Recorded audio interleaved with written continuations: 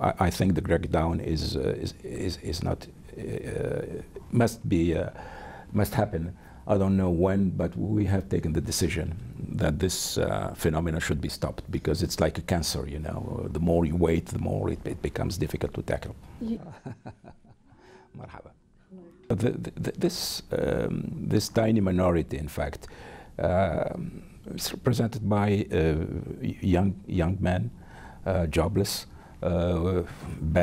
ill-educated, ill-informed, and so forth. So yes, we have to stop them by the means of police, but have, we have also to tackle the roots of the problem.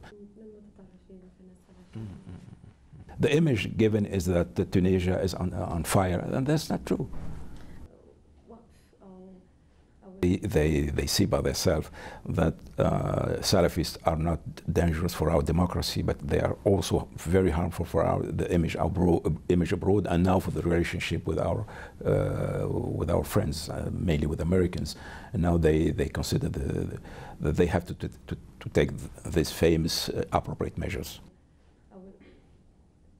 Uh, we have had a meeting two months ago with the military and with the, the, the, the, police forces, and they said, look, if you had to have any crackdown on uh, Salafists, you must be very, very careful about uh, uh, respecting human rights, about avoiding all kind of torture, about uh, staying in the framework of the law, because I wouldn't accept at any cost to be a, a new Ben Ali, you know. I think we, we are doing well because uh, we have had some uh, uh, differences, difference of opinions about, uh, you know, they begin to talk about uh, putting the word Sharia, and we say no, no matter. So the, um, we, we are not going to have the word Sharia.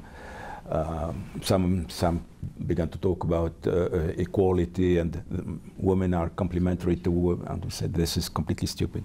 And um, I think that this word would never would never appear in our constitution. The word would, the word which would appear is uh, is equality. You know. Article 1 said that uh, Tunisia is a Muslim country, so that's, and that we, we should promote the respect of religion. That will be enough, you know.